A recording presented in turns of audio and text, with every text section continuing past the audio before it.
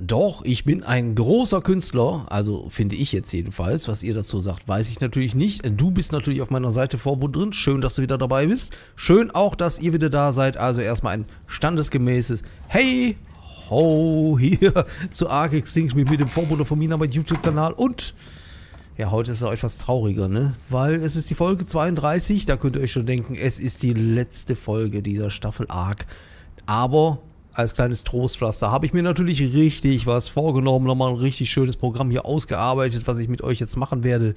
Ich hoffe, ihr bleibt dabei, ihr habt vor allem viel Spaß und ja, dann fangen wir mal an, ne? Leute, Kinders, Mädels, ich habe mich doch in der letzten Folge nackig gemacht, das wisst ihr vielleicht noch. Wahrscheinlich habt ihr seitdem Albträume jede Nacht.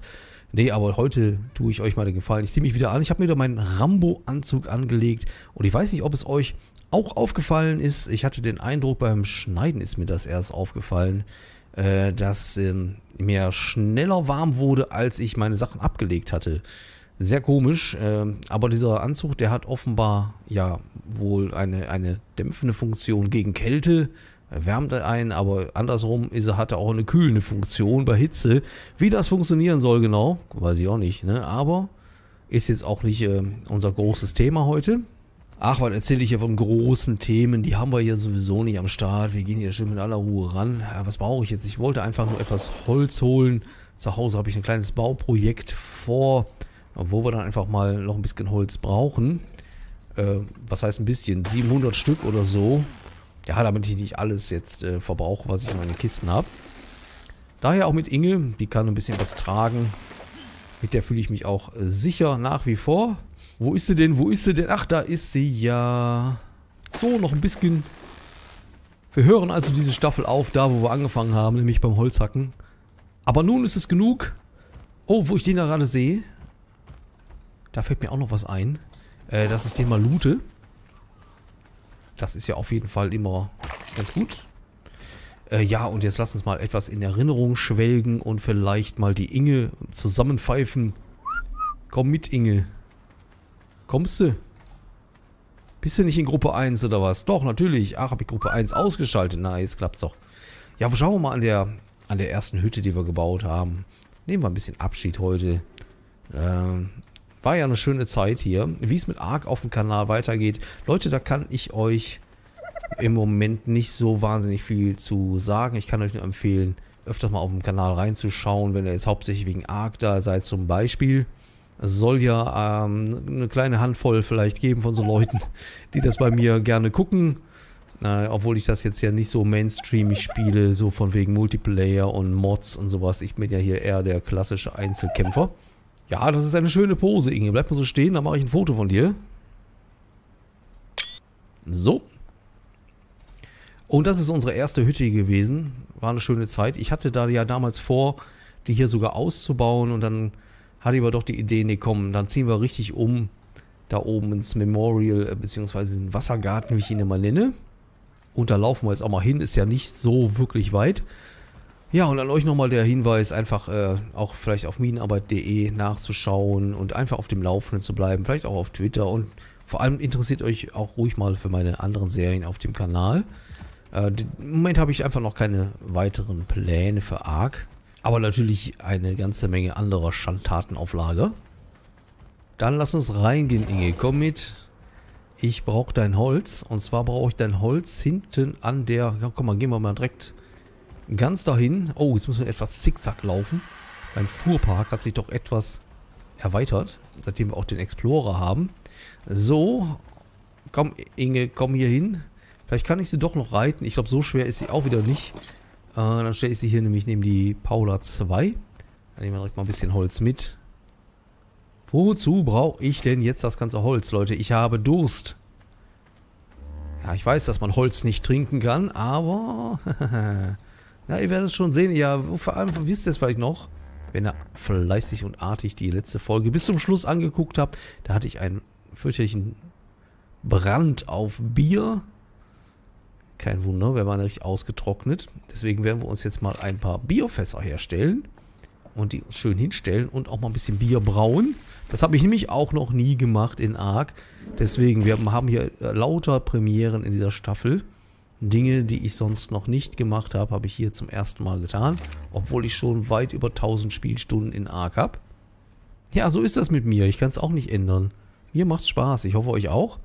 Was ist jetzt hier mit den, mit den äh, Fässern da? Und zwar bräuchte ich, glaube ich, noch zwei Stück. Denn ihr glaubt ja wohl nicht, dass sich ein Vorbuddler mit einem Fass Bier zufrieden gibt. Nee, nee, nee, nee. Ich möchte gerne drei. Eins habe ich nämlich schon gemacht. Und damit wir morgens, wenn wir aufstehen, nicht so weit laufen müssen, um uns den ersten Schluck des Tages zu genehmigen, baue ich die drei Fässer hier direkt an meinem Bett mal auf. Das sieht sehr schön aus hier oben in meiner großen Halle. So nenne ich sie jetzt mal. Außerdem ist die Vorbundlerin ja auch mal dabei. Und die säuft echt wie ein Loch. Ja, die säuft mich unter den Tisch. Habe ich keine Chance. So, wie machen wir denn jetzt Bier? Da haben wir jetzt hier ein Rezept drin, glaube ich. Ja, Bingleberries. Ja, das ist aber veraltet, Kinders. Das sind Bingleberries, aber ich glaube, da können wir alle Beeren, Beeren nehmen, die es so gibt. Äh, vielleicht nehmen wir auch die roten. Die gibt es am häufigsten. Die klauen wir jetzt einfach mal den Tieren. Dann brauchen wir noch Wasser. Und vor allem 50 Beeren pro Portion, 40 Setsch pro Person. Ah, äh, Portion. Und genau, alles abzählen. Äh, schön ordentlich und fein. So muss man das auch machen bei der Brauerei, ne? Ich weiß nicht, ob, es gibt ja so, so Heimbrauer, ja, die brauen sich zu Hause. Da gibt es so Sets zu kaufen und dann kann man sich sein eigenes Bier machen. Ich kannte auch mal jemanden, der machte das etwas professioneller. Das war sogar ein Gastwirt und der hat in seiner Kneipe im Keller auch manchmal so Führung gemacht. Und dann erklärt, wie man Bier braut. Das ist eine ganz schön knifflige Angelegenheit, damit es hinterher auch schmeckt. Äh, ich brauche meine Kochtöpfe. Uah, vorsichtig. Immer schön langsam hier. Und dann nehmen wir uns mal so ein paar von den Behältern raus, füllen die mit Wasser und klauen uns noch irgendwo ein paar Beeren.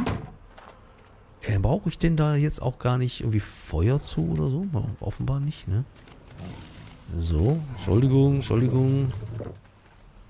Beeren sollten wir eigentlich genug dabei haben. Was brauchen wir? 50 waren das, ne?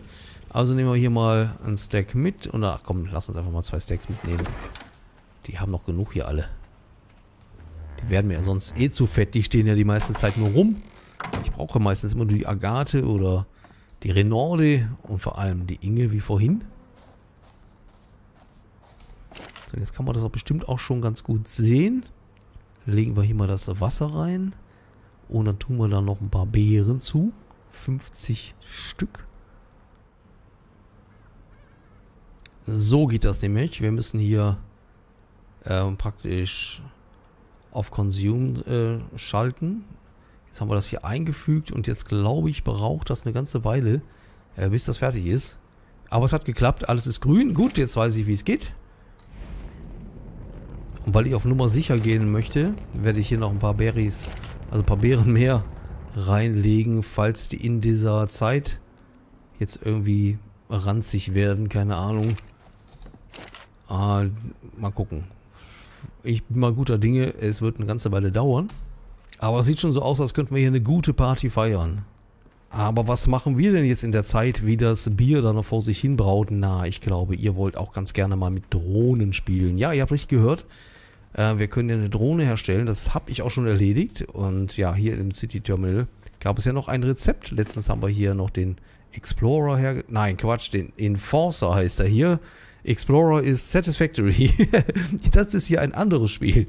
Okay, jedenfalls war da noch ein Rezept und da habe ich immer gedacht, das ist die äh, Defense Unit und da die ein bisschen schlapp auf der Brust ist, ich, hat die mich nicht weiter interessiert. Aber nein, es ist der Scout. Das sind diese kleinen Drohnen, die durch die Gegend fliegen ab und zu.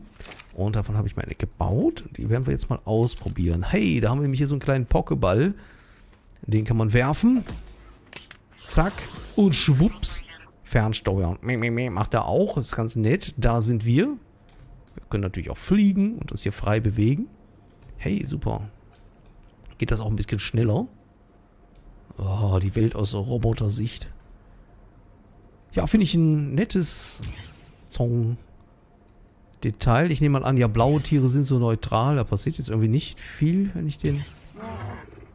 Ja, jetzt haut er sowieso ab, weil er schüchtern ist. Ähm, grüne Sachen sind natürlich die eigenen und ich nehme mal an, dass so gegnerische Tribes oder so dann rot dargestellt werden.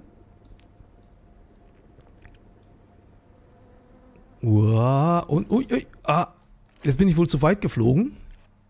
Haben wir es mal wieder übertrieben. Äh, muss ich den jetzt irgendwie einsammeln gehen oder habe ich den noch hier?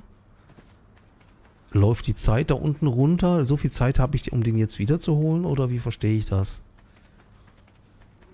Frage über Fragen, was wir hier noch alles rausfinden. Aber ich finde es auch ganz interessant. Schauen wir mal eben irgendwie, ob ich den nicht doch noch... Ja, weiß ich jetzt nicht, also für mein, meine Art zu spielen hätte das jetzt sicher nicht viel gebracht, außer wie jetzt hier ein bisschen äh, rumfliegen. Man kann sich eventuell anschleichen, könnte ich mir vorstellen, dass das ein bisschen, ja, für das Ausspionieren ganz gut gedacht ist, ganz gut geeignet ist.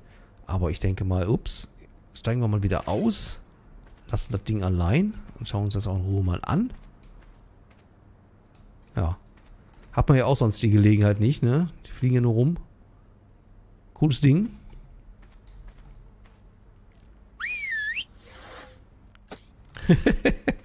Wunderbar. Okay, dann bringe ich es zurück, lege es in die wertvolle Kiste. Äh, wenn ich zurück möchte, sollte ich vielleicht auch in die richtige Richtung laufen. Ja, ich habe es doch noch geschafft nach Hause. Dann kommt das Ding wieder in die kostbare Kiste mit den ganzen Kampfsachen, die wir hier so... Hier, Pfeile und sonst was. Rüstungen und Element das. Das ist der Treibstoff. Für die... Oh, ganz schöner Verbrauch. Ich glaube, ich hatte so 30, 40 dabei. Von dem bisschen. Jetzt nur noch 16.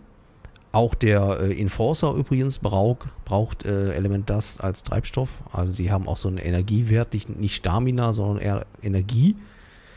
Gut, Kinder, und ihr seht, ich habe schon ein paar Sachen im Inventar, aber das reicht noch nicht. Ich würde mich jetzt gerne mit euch noch ein bisschen bauen. Eine ganz schöne Kleinigkeit und was so just for fun.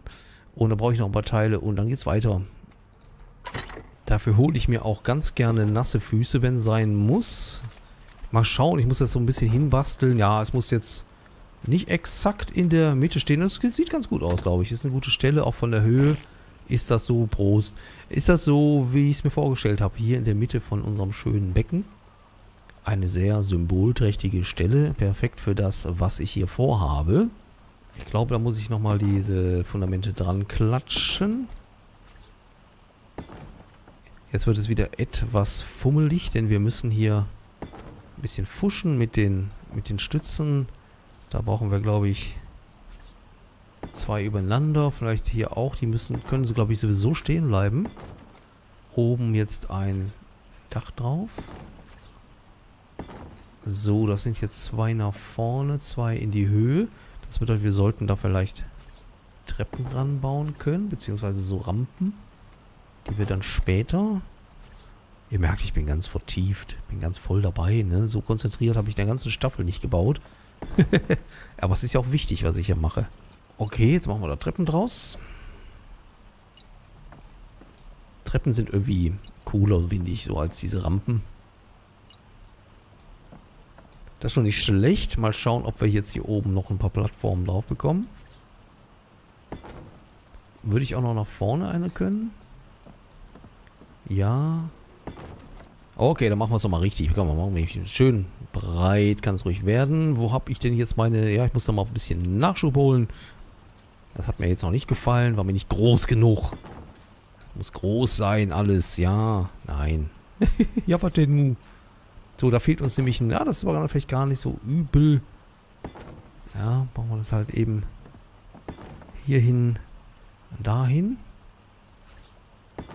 Ja, so. Ja, das ist gut. Die Form ist sogar gut. Doch, das gefällt mir. Und zwar, jetzt brauchen wir noch ein bisschen Verschönerungen. Einfach ein paar Geländer. Ach ja, und daran, da sieht er es nochmal. Jetzt äh, entdecken wir auch hier gerade nochmal den Unterschied. Diese fehlerhafte Textur habe ich euch auch schon mal gezeigt. In einer der letzten Folgen. Ich kann mich nicht erinnern. Aber sobald wir die jetzt auf so eine Schräge setzen, hier das, ähm, das Geländer, ja, dann fehlt da irgendwie Textur. Ich finde im Grunde, ja, man sieht schon, dass es jetzt nur so ein Dummy ist, ne, aber im Grunde hat es so einen Stein-Look irgendwie so, keine Ahnung, finde ich gar nicht so schlecht jetzt. Äh, will das jetzt auch hier gar nicht so wahnsinnig noch übertreiben. Ich denke mal, hier oben können wir noch die Bühne etwas verschönern. Ach, jetzt habe ich verraten, was es ist. Ach, Mensch. Na, naja, es ist eine kleine Bühne. Und die machen wir jetzt hier noch vielleicht. Ich probiere mal diesen ähm, eckigen Teilen hier noch rum. Vielleicht ist das ja ganz schön. So, soll ja auch noch ein bisschen was aussehen für den Fall, dass vielleicht die Madame X mal vorbeikommt, ne? One, two, cha, cha, cha. Okay, dann lass uns mal zum Ernst des Tages übergehen. Und nochmal meine Kunstwerke hier betrachten. Wunderschön sind sie geworden. Ne, jetzt aber gut hier. Ich will nach dem Bier gucken. Was macht das Bier? Bier her, Bier her. Ich glaube, das dauert noch was. Ah, aber guck mal, es wird schon noch. Ich glaube, wir schaffen das noch, ja. Ich habe jetzt auch ein bisschen getrödelt, muss ich sagen. Kleines Päuschen eingelegt sogar, um ehrlich zu sein. Nur um das Spiel mal etwas weiterlaufen zu lassen hier. Aber das, das sieht gut aus. Ich denke mal auch mit den Beeren kommen wir klar. Ja, können wir, also ich freue mich drauf. Können wir uns gleich noch einen schönen Schluck genehmigen. Ja, ich vertreibe mir hier jetzt hier noch ein bisschen die Zeit und kümmere mich mal um meine Tiere. Einige haben schon wieder gelevelt, andere haben auch schon wieder Häufchen gemacht. Die können wir ja auch wieder mitnehmen. Wir haben ja einen, einen Kumpel, der dann auch das ganze Düngerzeug verteilt für uns. Ja, und hier zu diesem Crash-Test-Dummy, wie ich ihn immer nenne, ist mir natürlich auch noch eingefallen, äh, diese Kampfpuppe. Ja, klar, die ist aber, ja, die kann praktisch sein, weil sie einem einen objektiven Wert vermittelt über die Beißkraft, ne? Der Tiere. Kann schon mal sein, ja, es ist halt ein bisschen einfacher zu beurteilen, äh, statt jetzt die Level zusammenzuzählen und sonst was und nochmal zu gucken. Ich meine, das ist das der einzige Grund, der mir jetzt so einfällt, warum das Teil ganz praktisch sein könnte. Brauchen tut man es, glaube ich, nicht wirklich jetzt so, hm, weil man doch eigentlich auch so ganz gut weiß, welches Tier jetzt ähm, stark ist oder was man ihm zutrauen kann. Oder ihr. Ja, das geht ja wieder super voran hier. Aber auch nur, weil er inzwischen da immer wieder was rausnimmt. Seht ihr, das ist inzwischen auch aufgefüllt. Das Feld war jedenfalls beim letzten Mal noch auf 40.000. Oh, vier Level auf dem Enforcer. Leben hat er verdient.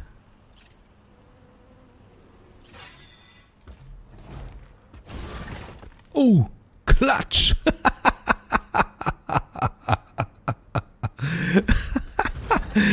ja, das ist mir halt noch eingefallen zu dem. Äh, dem habe ich auch ein bisschen rumgespielt, wie ihr wisst, und wusste auch noch nicht so richtig, was mit dieser einen Funktion, die ihr gerade gesehen habt, ähm, anfangen soll. Und ähm, man springt hoch und kann dann feuern und dann kann man sich so ein bisschen in die Gegend katapultieren. So sah es jetzt wirklich ganz cool aus. Ich denke, mache ich nochmal eben. Nehmen Anlauf, springen und zack. Wusch. Auch nicht schlecht. Und da muss ich auch etwas aufpassen. Vor allem braucht das wahrscheinlich richtig viel Energie, die ich nicht habe. Ja, ich kann jetzt im Moment nicht mehr feuern. Ich bin irgendwie fix und fertig. Komm, mach doch nochmal. War so schön, wie du für die, vor die Wand da geflogen bist. Äh, äh, verstehst du das richtig? Der ist ja da so hängen geblieben. Kann der jetzt zum Beispiel hier auch? Tatsächlich. Leute, da öffnen sich uns ja ganz neue Möglichkeiten. Schaut euch das mal an. Das ist aber jetzt mal so richtig cool. Das gefällt mir.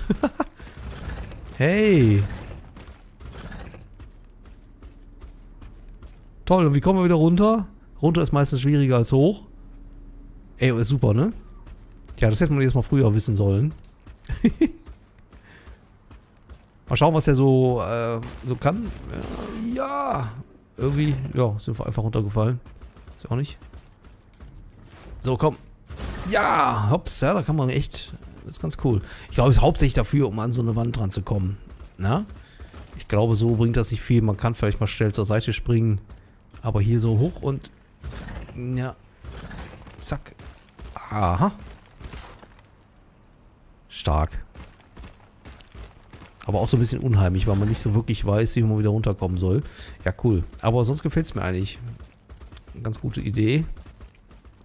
Ah! Na also. Schöne Tapiara. War ich mal so hinterher und jetzt bringe ich es um. Gut, aber wir müssen ihm auch mal was gönnen hier. Mach auf die Tür. Und nun ist es soweit, der feierliche Moment. Wir betreten die Bühne, um die War Drums zu spielen. Die habe ich nämlich entdeckt und äh, hatte ich auch noch nie in Ark. Deswegen habe ich extra diese schöne Bühne hier gebaut und ich würde mal vorschlagen, wir legen jetzt mal direkt los mit einem vielleicht etwas traurigen Trauermarsch.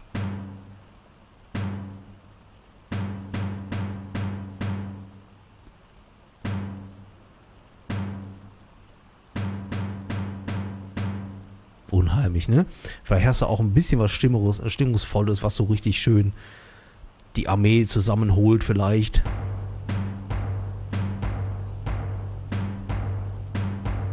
Ah, es ging schon besser.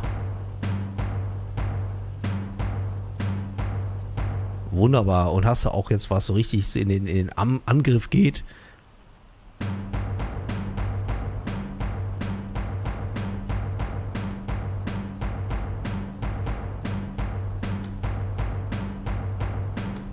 Meine Güte, ist aber ganz schön schwierig.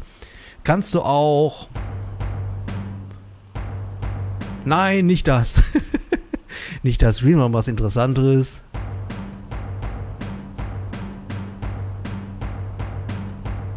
So, und das reicht. Ich glaube, jetzt haben die Leute die Nase voll von deinem Getrommel. Äh, ja, das spielt man selber mit linker und rechter Maustaste. Oh, man kann man auch so draufstehen. Er ist so richtig so voll der Rockstar, ne? Cool. Und vor allem diese schöne Bühne hier vor dem Wassergarten. Davon habe ich immer schon geträumt, sowas zu haben. Das ist ja toll. Finde ich gut. Deswegen habe ich es gebaut, Kinders, und euch ein bisschen was vorgetrommelt. Aber jetzt habe ich echt noch einen größeren Durst. Außerdem muss ich mir jetzt auch echt langsam mal Mut antrinken. Hey, das sieht schon sehr gut aus. Bier ist fertig. Allerdings ist das jetzt nur die Flüssigkeit. Die müssen wir jetzt hier noch irgendwie einfüllen. Ich habe es gerade mal mit dem leeren äh, Behälter hier versucht. Das hat aber nicht geklappt. Jetzt versuche ich es nochmal hier irgendwie. Das geht auch irgendwie nicht zusammen. Ähm, Im anderen Fass vorhin hat es... Ach, das muss halb voll sein dann. Das macht zwar überhaupt keinen Sinn, aber ist egal. Hauptsache, wir haben es herausgefunden. Ich nehme mir natürlich auch direkt mal das erste Glas mit. So, und ähm, hier haben wir es schon mal... Habe ich es gerade schon mal gemacht. Dann war das also wirklich... Muss das irgendwie halb voll sein. Mit Wasser. So wie hier. Und dann müsste das jetzt hier auch einfach nochmal klappen. Tatsächlich. Prima. Wir haben Bier gebraut. So, das erste Glas genehmige ich mir natürlich hier schön zu Hause in meiner großen Halle. Mit schönem Blick nach draußen. Mhm. Und, uiuiui, oh, oh, oh, das ist aber ein Gesöff. Ach du meine Güte. Hey, Vorwohnerin, wie geht's dir? Alles klar, du bist doch die Schönste, die ich überhaupt schon jemals gesehen habe. Ich fühle mich schon sehr benommen, aber es ist genau richtig. Wir sind nämlich jetzt so richtig schön äh, betrunken und merken nicht mehr viel. Deswegen, Kinders, nehmt hier schon mal Abschied, aber bleibt noch was dran, denn natürlich werde ich diese wunderbare Staffel Arc Extinction nicht aufhören, ohne nochmal tüchtig in den Kampf zu ziehen. Daher auch der viele, der viele Sprit, äh, damit ich meine Schmerzen nicht so merke und auch mehr Mut habe.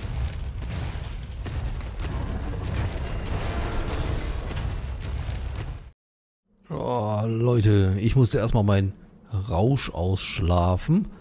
Das Zeug, das ballert ja rein. Wo bin ich überhaupt? Hier vorne. Da bin ich. Tralala. Ähm, auch nochmal Proviant zu Hause vergessen, muss dann mal zurück. Ja, aber der pangalaktische Donnergurkler ist gar nicht gegen das Zeug.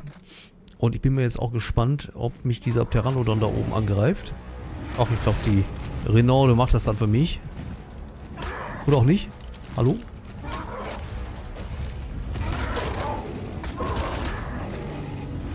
Glaube, ich habe Renorde ein bisschen erwischt. Bisschen friendly Fire hat sie abbekommen. Ja, futter die mal ruhig auf. Blöden Viecher. Ah, nee, Kinder, das ist ein, ein Getränk. Ich glaube, ich brauche noch einen Schluck. Anders äh, halte ich das hier nicht aus. So, weiter. Wir brauchen auch ein bisschen mehr Mut. Ich muss mehr Mut antrinken. Aber ein bisschen was futtern. Elektrolyte und so. Wo ich hier bin, ne? Ja, ich mache mich natürlich eher auf den Weg in die gefährliche Zone. Von wo aus wir wahrscheinlich nicht wiederkommen werden. Ne? Deswegen sehr traurig, sehr trauriges Ende diesmal. Nicht so happy wie sonst. So, ha, Leute, wie schön. Jetzt haben wir ein Haus. Nee, wir gehen hier so richtig raus. Sturzbesoffen. Und schau mal, äh, was uns hier so erwartet.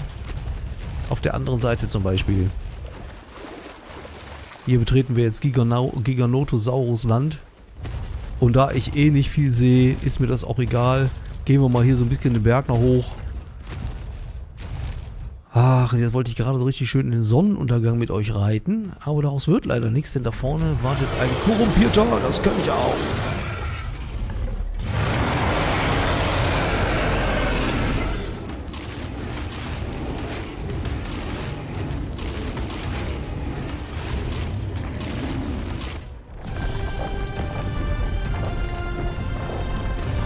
Tata! Ist eigentlich der ideale Moment, um aufzuhören, Leute. Ich bedanke mich recht herzlich bei euch fürs Zusehen während dieser Staffel. Wie gesagt, vorhin habe ich euch schon gesagt, äh, wie es weitergeht mit Ark, weiß ich im Moment noch nicht so. Verfolgt halt alles auf dem Kanal. Und ansonsten kann ich euch jetzt noch eine schöne Zeit wünschen. Schaut euch noch ein bisschen auf meinem Kanal oben. Vielleicht findet ihr was anderes Schönes. Jedenfalls hatte ich hier eine Mordsmenge Spaß. Da vorne ist eine Explorer Note. Die nehmen wir aber noch mit. Das müssen wir schon tun. Jawohl. Und dann reite ich weiter ins Verderben, allerdings ohne euch. Drückt mir die Daumen. Ob ich je zurückkomme, weiß ich nicht, kann ich euch nicht sagen. Nun denn, aber es muss sein. Ich habe das Gefühl, wir müssen aufbrechen in die Ferne. In ein neues Leben. Und bevor ich jetzt noch mehr blödes Zeug erzähle, höre ich lieber auf, Kinders. es war eine tolle Zeit. Ich hoffe, es hat euch Spaß gemacht. Äh, haut auf den Like-Button und alles, was geht. Kommentare und so. Ich freue mich drüber. Und ansonsten sehen wir uns bestimmt in Kürze nochmal wieder. Sagt Tschüss zu Renorde und zu mir, dem Vorbuder, hier in Arc Extinction. Leute, bleibt sauber, habt viel Spaß dabei und lasst euch auch hiervon keine Angst einjagen.